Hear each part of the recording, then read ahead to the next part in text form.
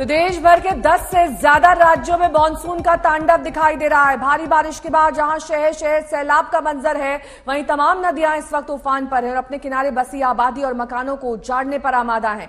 सबसे बड़ा सैलाबी संकट इस वक्त गुजरात पर मंडरा रहा है, जहाँ आठ जिलों में भारी बारिश के बाद हालात गंभीर बने हुए हैं। और यही नहीं, इन जिलों में 14 जुलाई तक मूसलाधार बारिश का रेड अलर्ट जारी किया गया है। नवसारी, डांग, वलसाड़, तापी, नर्मदा, सूरत पंचमहाल वो ज़िले हैं जहाँ रेड अलर्ट है। वहीं अहमदाबाद में भारी बारिश के बाद तबाही की तस्वीरें लगातार सामने आ रही हैं।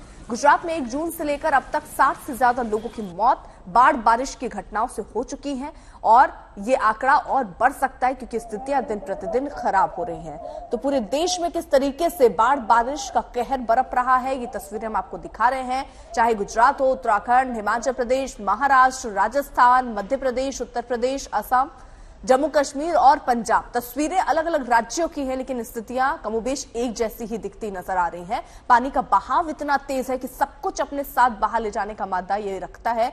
कई जगहों पर जो नदियों के किनारे घर हैं, वो पानी के साथ बहते हुए नज़र आ रहे हैं। इस बीच बड़ी खबर आ रही है, राजकोट मूसाधार बारिश और सड़क पर भरा पानी। हमने आपको तस्वीरें दिखाई थी कि कैसे राजकोट में इस वक्त हालात गंभीर बने हुए हैं। सिविल अस्पताल के बेसमेंट में घुस चुका है पानी। वही कई ऐसे रिहायशी इलाके भी हैं जहाँ पर घरों तक पानी पहुँच चुका है। राजकोट में आज ही दो बाँध के लिए चार दरवाजे खोले गए हैं।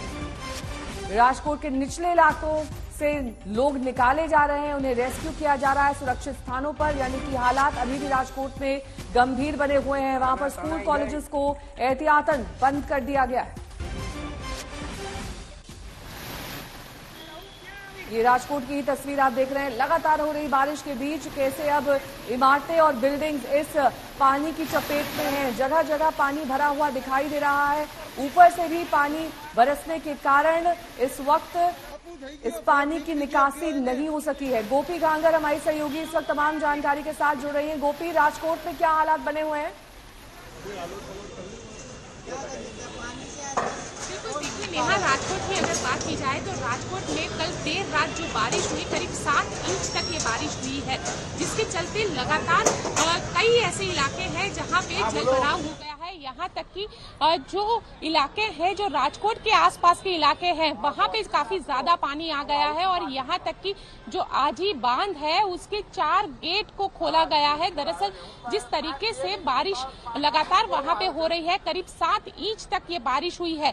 लेकिन नेहा, आपको मैं दिखाती हूँ कि बारिश के बाद का तबाही का जो मंजर होता है, वो कितना खतरनाक होता है। कल अहमदाबाद में बारिश हुई थी और अहमदाबाद में बारिश के बाद इसी कॉम्प्लेक्स में दो गाड़ियाँ तैरती हुई दिखी थी।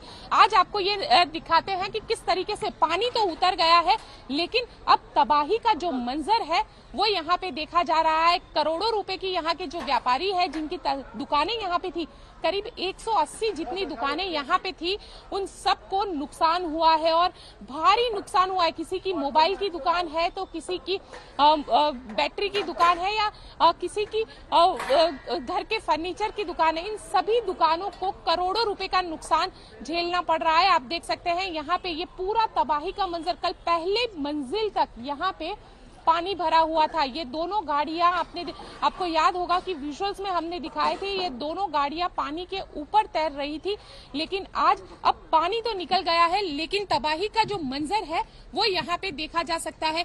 आ, ये बताइए हमारे साथ कुछ व्यापारी यहाँ पे मौजूद है उनसे बात करते हैं। ये बताइए कितना नुकसान हुआ है आप लोगों का? एक्चुअल में देखा जाए तो नुकसान की तो कोई गिनती नहीं है। मालूम नहीं हो सकता कितना हो सकता है।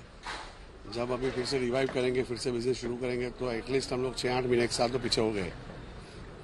बराबर, और अभी एक्चुअल में क्या था कॉम्प्लेक्स में सारे सिस्टम की व्यवस्था है, लेकिन सबसे बड़ा प्रॉब्लम क्या है कि जो बाहर रोड के ऊपर का जो पानी ओवरफ्लो हुआ ना, उसने ये खराब, हालत खराब कर दी है।